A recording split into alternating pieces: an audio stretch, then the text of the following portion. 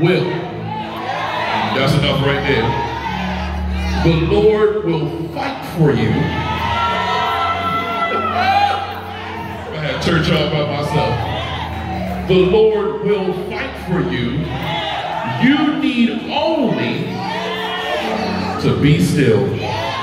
Grab somebody by the hand, look them in the eyes for as long as you can possibly stand it. I know they are not as attractive as you. But look him in the eyes, look him in the eyes, look him in the eyes. I want you to help me with my sermonic title. Ooh, I feel good already. Help me with my sermonic title. Tell them, while you trying to figure it out.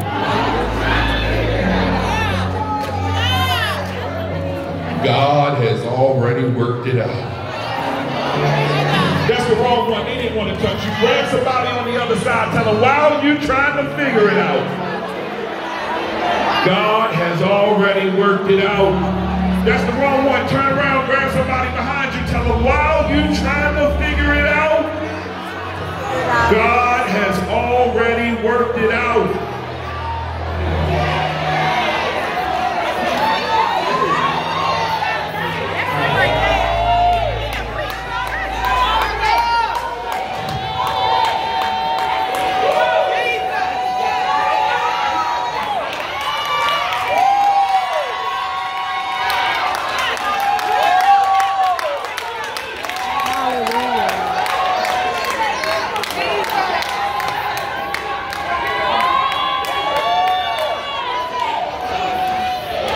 while you trying to figure it out.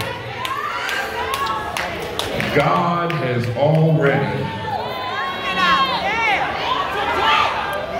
This is one of my favorite scriptures in the entire Bible. is the highlight of one of the most contentious battles in the entire Bible.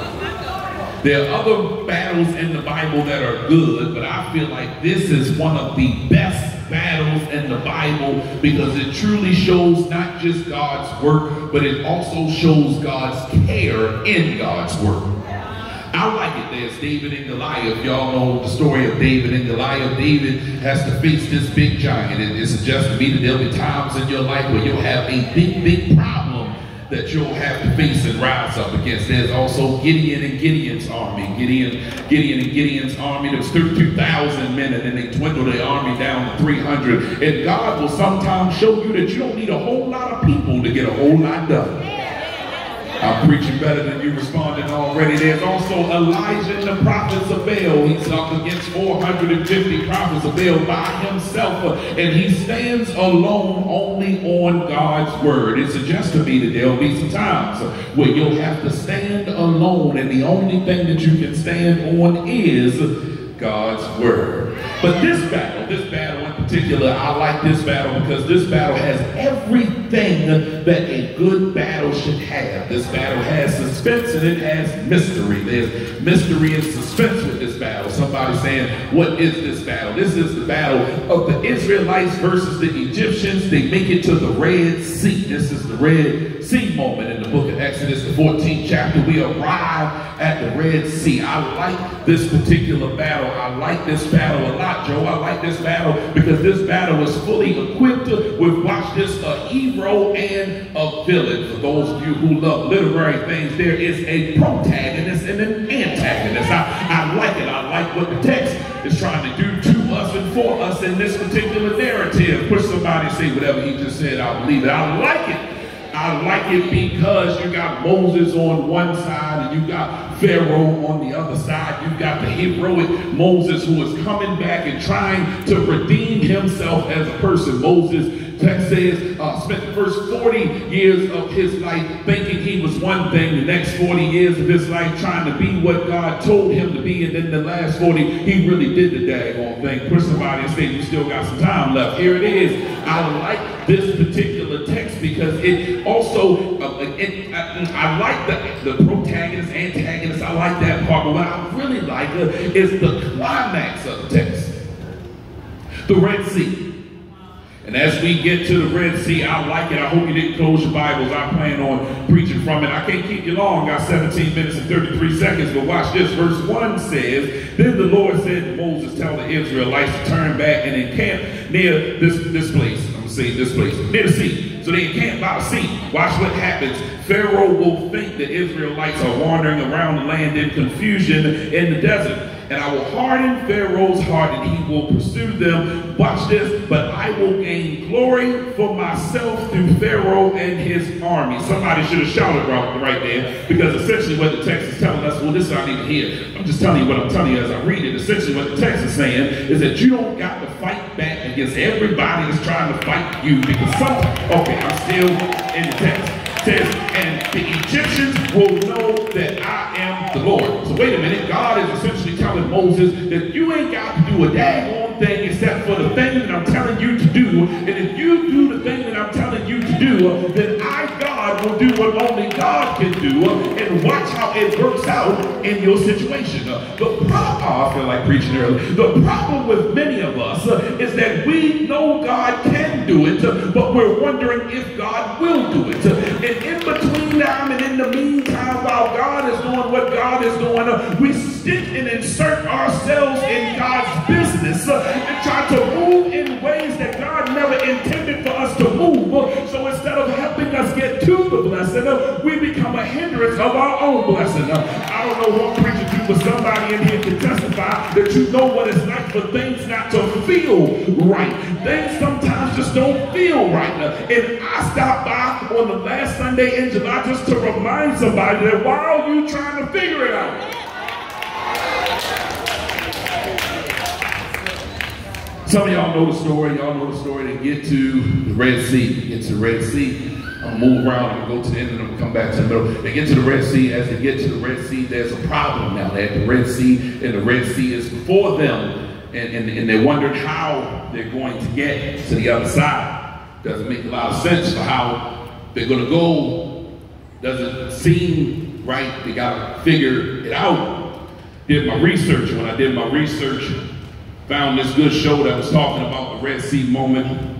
It said uh, that they, they, they wanted to recreate it, so they used 14 computer models, simulations to show exactly how it could have happened. And they suggested that a strong east wind that was blowing overnight could have pushed the water back at a bend where an ancient river is believed to have merged with the coastal lagoon along the Mediterranean Sea. They found that a 63 mile per hour wind lasting for 12 hours would have pushed the waters back to be about six feet at least, and then they could walk across uh, because they would have to be exposed to the mud flats for about four hours, uh, creating a dry passage long enough for about two uh, or two and a half or maybe even three miles long for them to all get through. But scholars decided that it was essentially and virtually impossible for the land to be dry enough for them to walk across.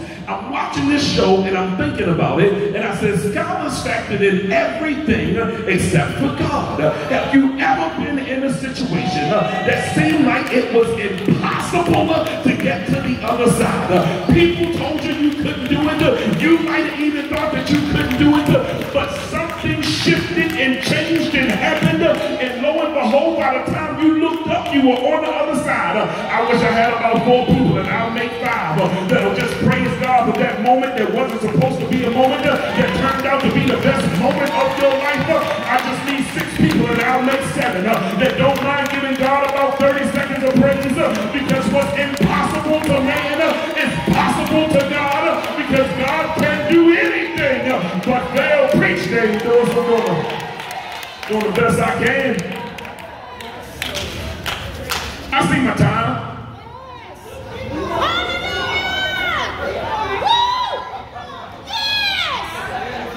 I 13 minutes and 11 seconds. I know where I'm at.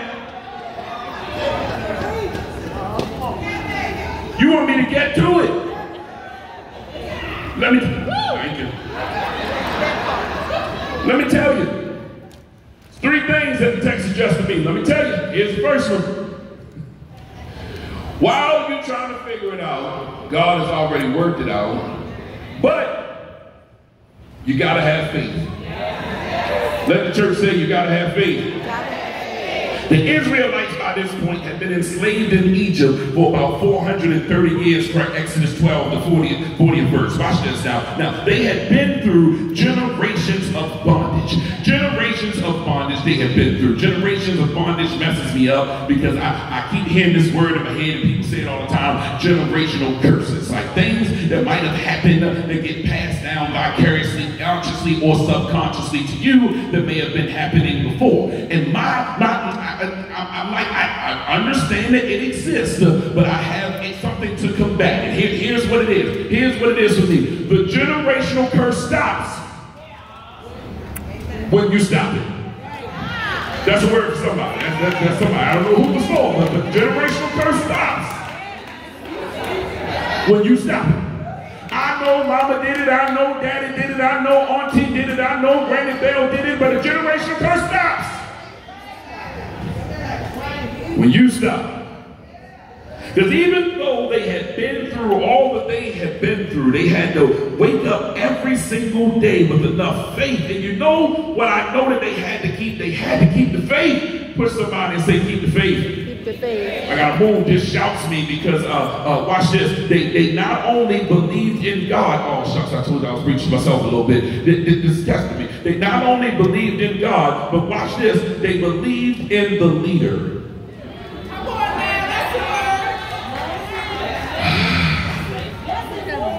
I expect a whole bunch of shouts right there. If nothing else, if nothing else, know as a leader, I got your best interest.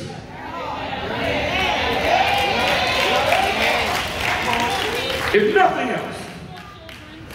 But what's the text?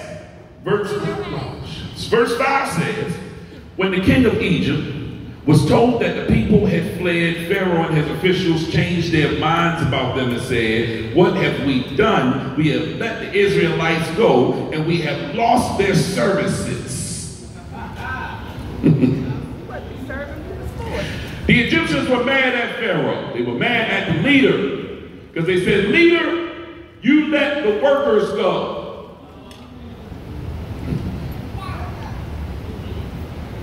Leader, the people who did all the work, gone.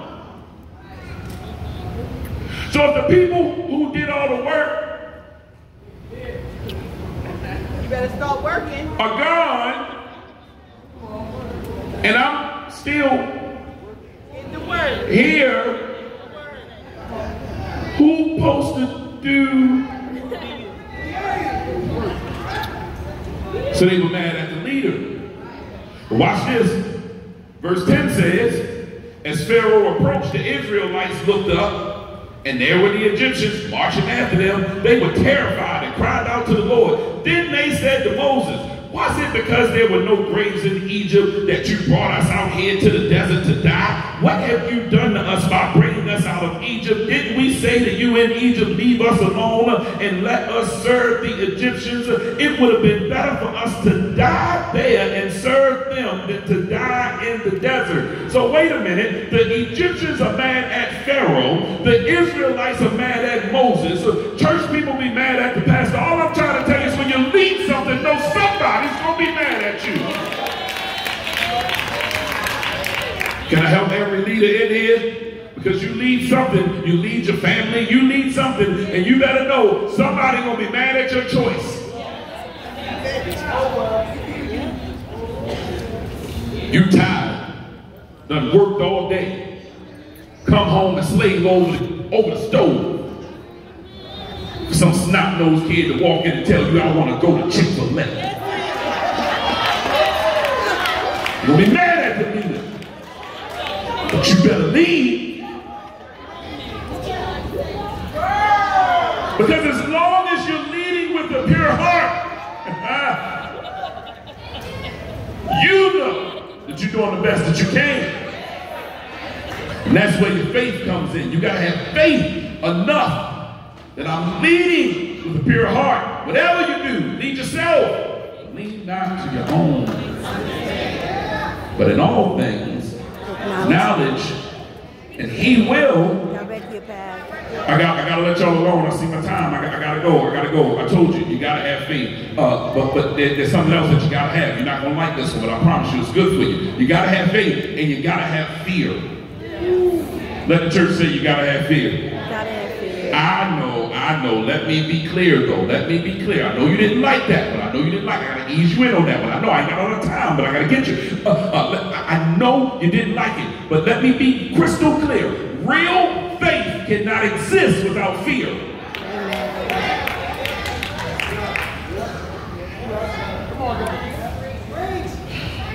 Negro, you are preaching. There you are. I'm sorry, I had a Donald Lawrence moment. I had to encourage myself. Because some of y'all looking at me like I'm crazy, and I'm like, no, you are killing this. Why are you killing this? Because I'm just reminding myself that if I don't have fear, then I can't have faith. Because if I don't fear enough of the situation, uh, then there's no need for faith to enter in. Uh, if I can do it on my own, I don't need faith for that. Uh, I need faith for the mountains that I cannot move. I know it says if you have the, the faith the size of a mustard seed that you can move a mountain, uh, but you still ain't moving it without fear or You ain't shout. Okay, let me see if I can get you. You, you didn't you didn't shout yet. Let me see if I can get you. Uh, uh, and, and- and- I'm, I'm up here. Remember we were just talking, talk, talk. Okay, they get ready to dance and talk to one of my babies, and, and she says, "I'm nervous," and I said, "That's good. That's good." Every Sunday I stand here, I'm nervous, and that's good. The Sunday that I stand here and I'm no longer nervous, I quit. Because if I'm not nervous, that means I'm doing it in my own strength. And I'm not strong enough to do this.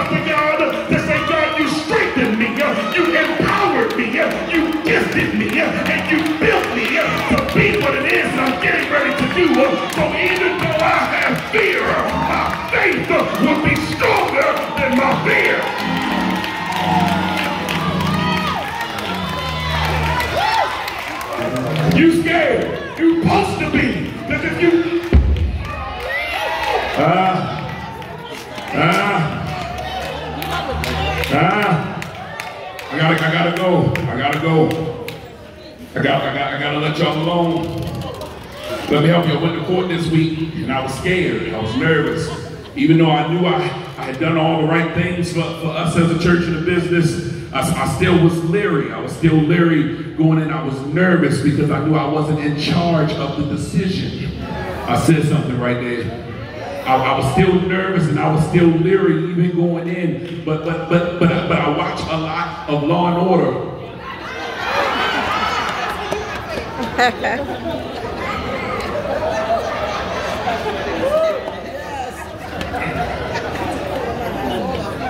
And I recently started rewatching Suits. And I felt like Harvey Specter walking in there. So we got this. Then I watched the judge deny everybody that was before us. And I said, God, I'm scared. No matter how good you think you are, you should always fear the judge. A healthy fear of the judge. Because Proverbs 9:10 tells us that the beginning of knowledge is the fear of the Lord. And when you have the fear of the Lord, Psalm 27 1 tells us, The Lord is my light and my salvation, whom Yea, though I walk through the valley of the shadow of death, I will fear.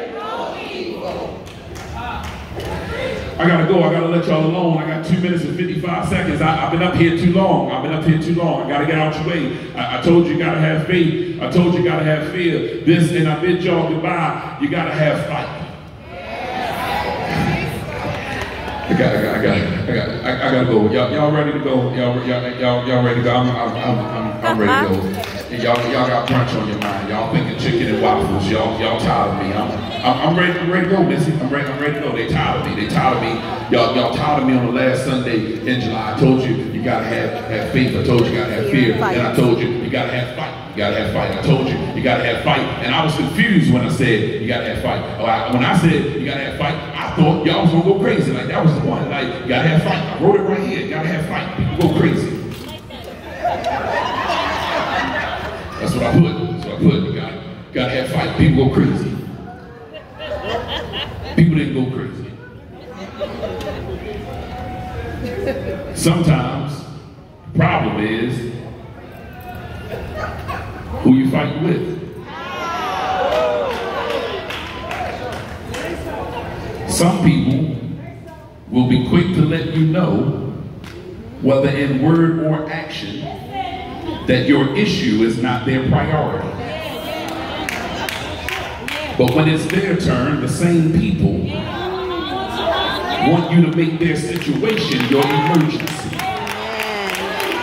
And I don't know who I'm preaching to, but I just stopped by to remind somebody that I'm not on your time, I'm on God's time. And because I'm on God's time, when it's my time, you better be ready to rock like I'm ready to roll.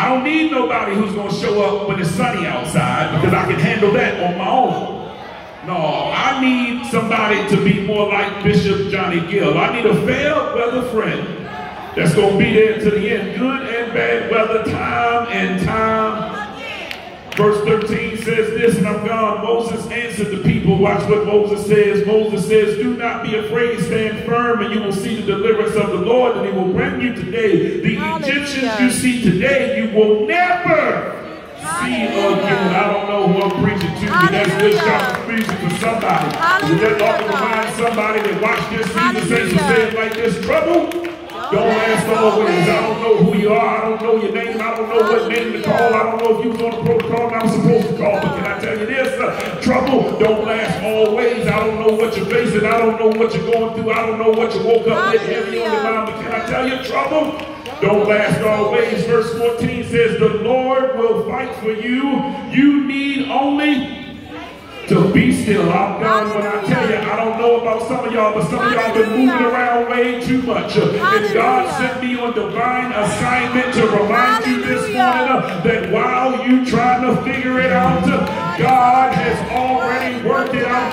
I wish I had about five people in Outlet 6 uh, who don't mind putting your blessed hands together because you understand that God has already worked it out. What it, whatever it is that's on your mind, what it, whatever it is that's got you down, what it, whatever it is that's been holding you back, what it, whatever it is that won't let you be the best version of yourself. Grab somebody by the hand uh, and tell them the thing that you saw you will never see again. Uh, it can't stop you, uh, it can't hinder you, it can't hurt you, it can't keep you back, it can't keep you down, it can't shut no doors, it don't have no heaven let you into, or no hell to keep you out of. I wish I had about 10 people, uh, and I'll make 11, uh, who don't mind testifying uh, that while I was trying to figure it out, God has already worked it out. I usually stop right there. I usually stop right there. I got you. Don't sit down if you're standing. Here's why. I'm going to tell you. I usually stop right there and I will shout you all the way home on the Lord will fight for you. You just be still. I would shout you all the way home on that. I would. But this week, I kept reading the text. And verse 15 says, I always stop at 14. I don't know why. I always stop at 14. But this week,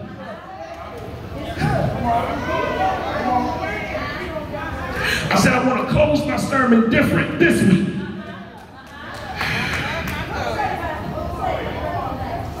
This week. I read 15. And 15, 15 to 16 got me. I read this week and it said, Then the Lord said to Moses, I thought it was over when, when, when, when he said, Moses told the people, Moses told the people, Be still, the Lord will fight for you. But 15, then the, you trying to take me there. You, you want me to go? Then the Lord said to Moses, Why are you crying out to me? Tell the Israelites to move on. Oh, shucks. Only a fool trips on what's behind them. And all I'm trying to tell somebody is yes, the Lord will do your fighting. But after the Lord is done fighting for you, that you got to start to pick up something and fight for yourself. Verse 16 says, He told him, Raise your staff and stretch out your hand over the sea and divide the water so that the Israelites can go through on dry land. There's a principle in the text that suggests to me, oh shucks, uh, that the more I fight for myself, the more God fights for me. Seasoned saints used to say it like this if you take one step, God will take two.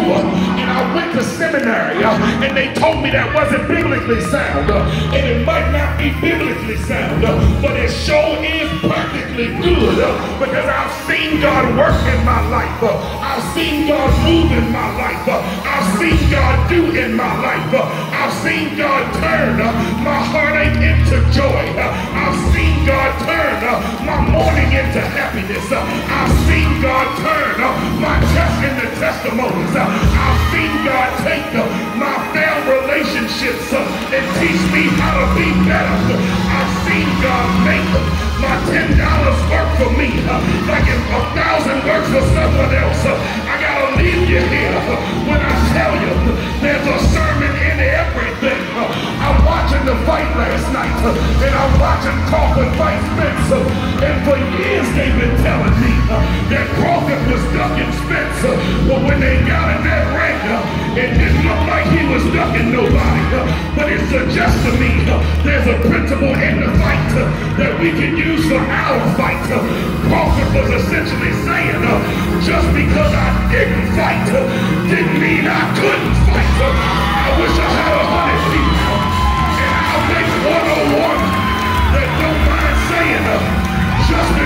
Didn't you up, don't mean I can't beat you up.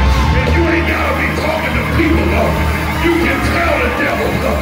devil, you might have got me good, but I ain't ducking you. I've just been waiting up for the Lord to do what God does. Shake somebody's hand like you gonna shake it off and tell them while you trying to figure it out. Has already worked it out.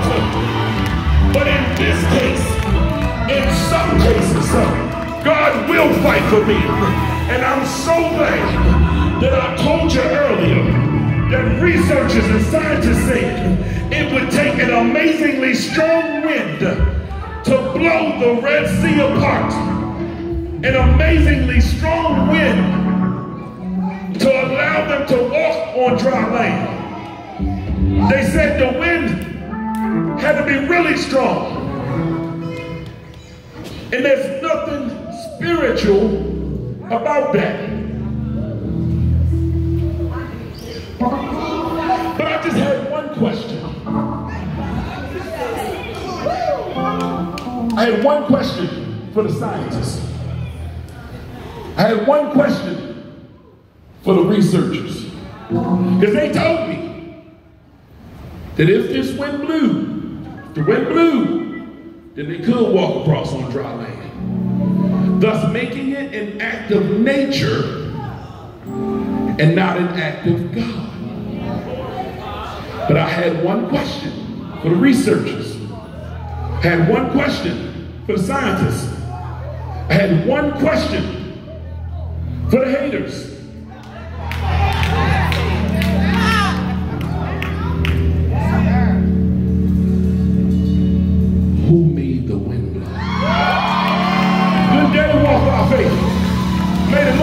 You real, real good. But whatever it is that you've been facing, uh, all it takes is for God to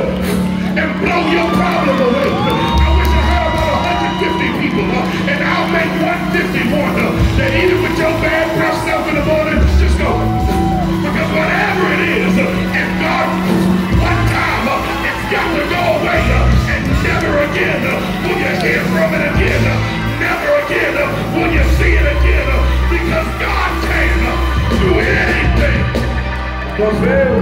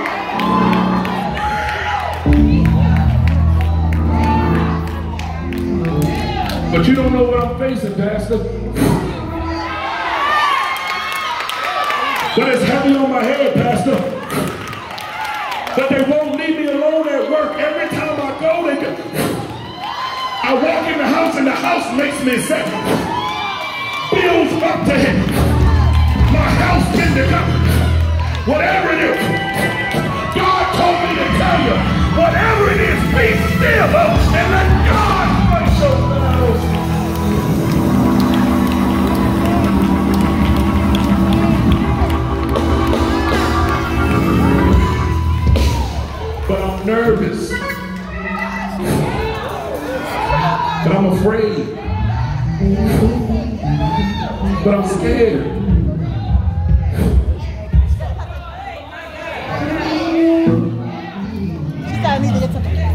Same God that made the wind blow. That's why I love this baby.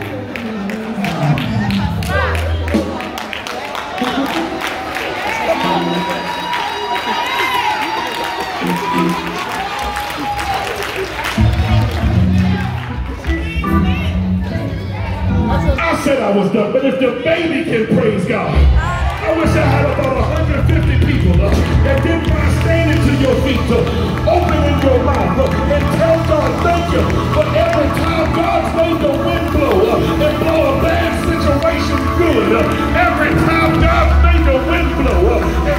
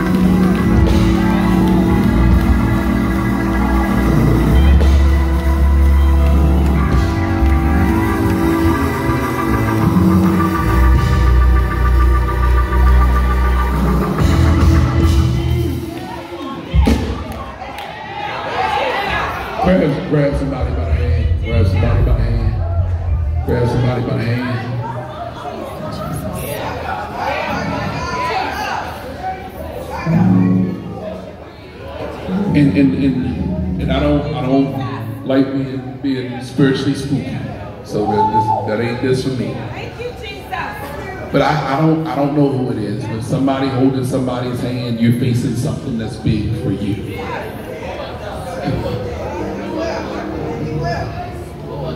And it ain't big like down the road. It might be big like this month, coming this week. Whatever it's big for you. Everybody, get one person. Get one person. Get one person. Get one person. Get one person. Don't eh, don't. We ain't holding hands all across the church. Find you. No, no, no. Find you one person. And look in their eyes. Find you one person. Find you one person.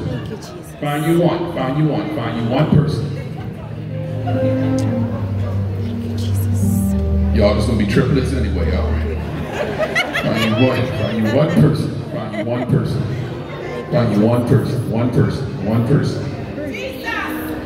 one person. Now this is important. This is important because I told you it's important who you're fighting with. Everybody don't fight the same way, and that's okay. I had to learn that growing up. I, ne- I never forget. I had to learn that growing up. I was in college, and uh, the Baltimore guys got into it with some DC guys, right? And uh, we was handling our business. We was until like three guys jumped on me, and I was down. I was down. I was down. I was down, and I could see one of my friends, and I didn't know what he was doing, but he wasn't helping me.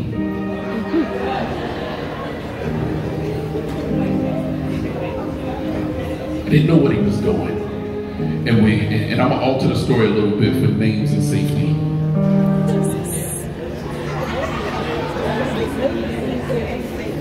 And we got back to the house. We got back to the house that night. And you know what happens when you get back to the house? You gotta decompress, you gotta talk about the fight. They was like, dang, you was doing it until they got you. Was, and then they got me. And then I, I asked a friend, I said, from under those shoes,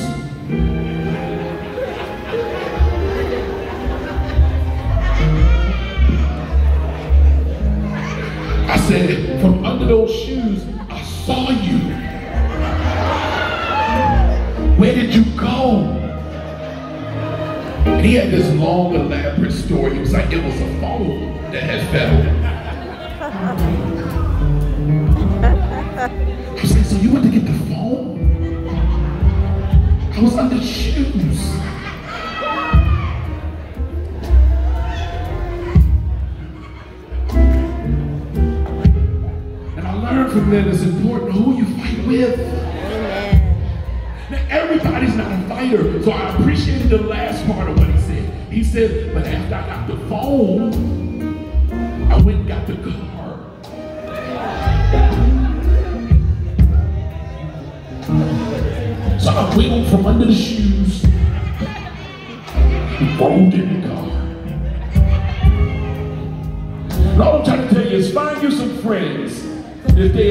gonna fight for you,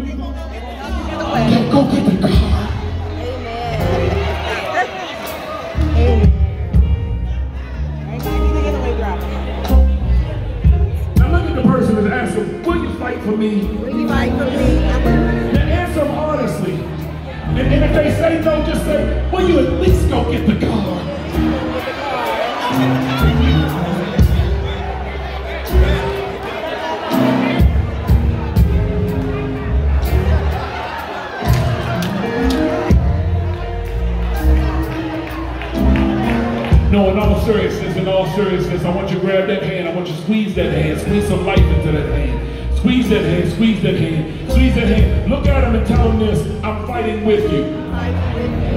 Tell him this and mean it. I'm praying for you. Tell him this and mean it. That whatever God's will is for your life, I want that for you. Look at him and mean this. I want you to genuinely be happy in life. In Jesus' name. Put your arms around that person. Squeeze them like you mean it. Squeeze them like you mean it.